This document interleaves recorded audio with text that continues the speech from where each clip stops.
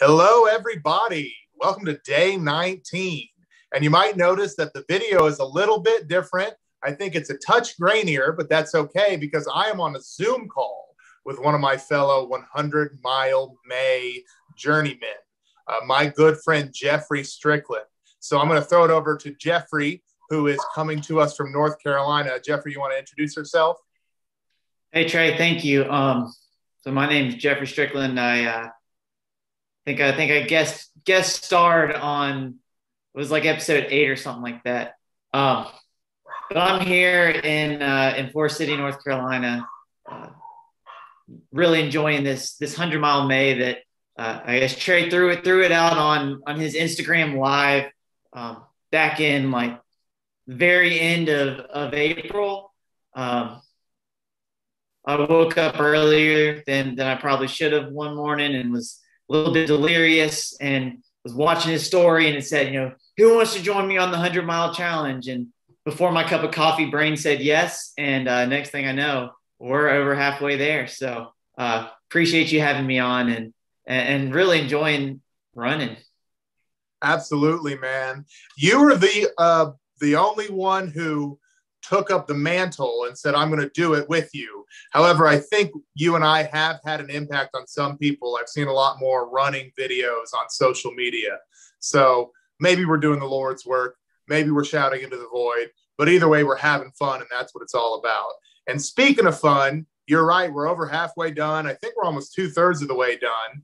You and I have taken slightly different approaches, but it kind of pans out to be the same thing how do you feel so far? Do you feel like you're you're still pushing through the wall? Do you feel like you've started to get better, um, or or the opposite? Do you feel like you're kind of slowly unraveling?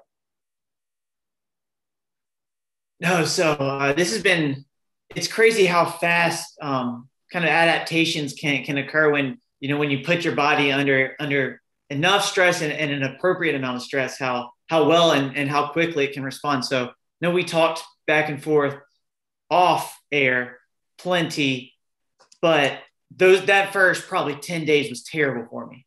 Um, you know, and, and, it's strange because I, I, didn't, I'm not gonna lie, I actually thought this was to be a, an easier challenge than than it's wound up being. Uh, you know, running three, four, five miles at a time has never been difficult for me but I've also never done it on consecutive days. It would be just like if a, if a friend, buddy wanted me to go run with them, I'd go run with them for, for that one day and then wouldn't run again for another month. Um, but by day three, uh, I was limping around everywhere. I was hurting. I was struggling. Just getting through through the runs was was the challenge. Uh, but by about day ten, uh, broke through that wall and uh, have, have actually been feeling really good here for about the past week. That's excellent, man. That's good to hear. I agree with you. I I thought this challenge was going to either be impossible or very easy, and it turned out to be very hard.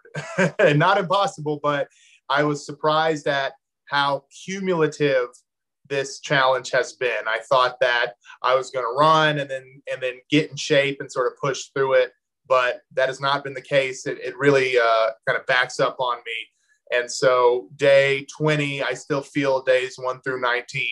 Uh, but I have seen things start to improve. I've, I've done, I did a diet in April, I did Whole 30, and I've been doing this for about 20 days. So I have seen a bit of a change in my body makeup. Have you seen any sort of change? Just looking in the mirror, has this helped uh, trim that sort of approaching 30 fat off of the bone a little bit?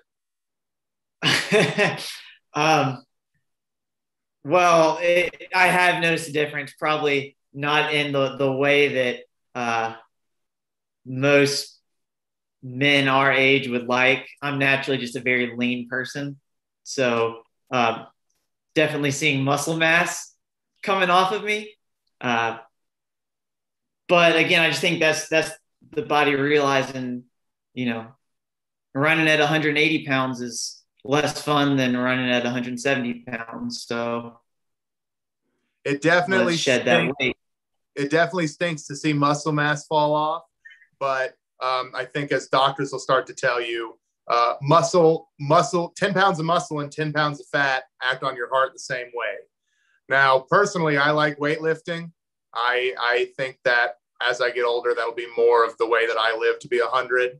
But I'll tell you what, running does wonders for all of that um, cardiovascular stuff, your breathing, your heart rate, your blood pressure. Running's a great way to keep that stuff in check.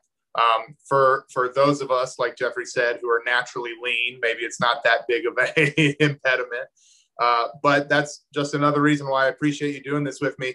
We're very we're very different for being so similar. I will say that it's a uh, having a 180 pound guy and a 280 pound guy do this challenge really give you two sides of the same coin. So here's the last thing, Geoffrey. We both played college football, and college football comes with certain amounts of working out and certain amounts of uh, physical discipline. What's been the biggest difference doing this kind of athletic discipline, this long term running? How's that different than what you did when you played football, or maybe what you do? I know that you're a certified uh, strength and conditioning trainer, something CSCS or whatever. Um, so I guess first, can you tell us about being a CSCS and whatever that is? Can you give us the right acronym? And then tell us how this has been different than some of the football workouts that we used to do.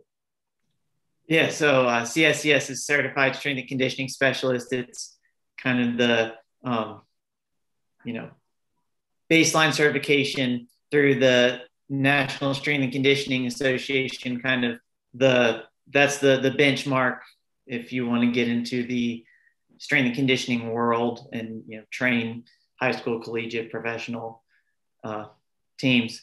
Um, so the biggest thing is, you know, like you have been been running a lot in the mornings. Um, when that alarm clock goes off, the only person that cares whether I get up, lace the shoes up, and go or turn the alarm off and wake up two hours later is me. Um, the, you know, the, you you remember back back in in your days, you know, you when you're playing for a team and you're working out for a team, you've got 80 other guys that are relying on you. And you know, that that's one of the things that I love about team sports is the selflessness that that it teaches uh, because those guys are relying on you. But I know you've commented on this um, earlier, just the, the self discipline that it takes when no one gives a rip if I don't run. Um, I mean, they they don't even know. So right. Uh, it, it's it's very unique in the sense that you don't have that external motivation. Um, other than just trying to to to finish the the hundred, which is a a personal goal goal anyways, uh, which has been cool fighting that and and having to having to work through it.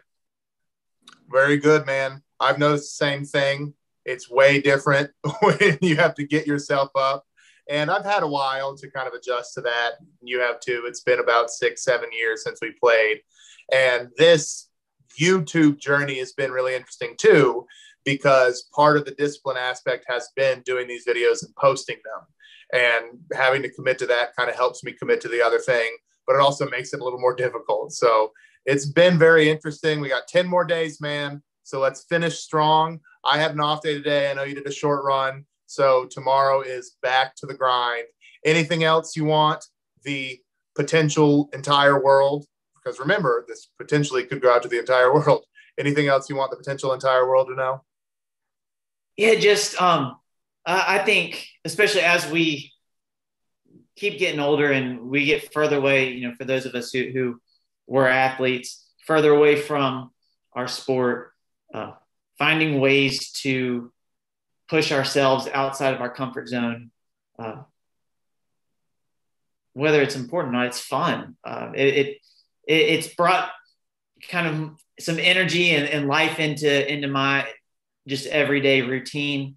Uh, so, you know, whether it is run 100 miles, complete the whole 30 diet, you know, what whatever it is, I strongly recommend as you know we get into to our, our older adult years to continue to find find these kind of challenges to just help make ourselves just that much better.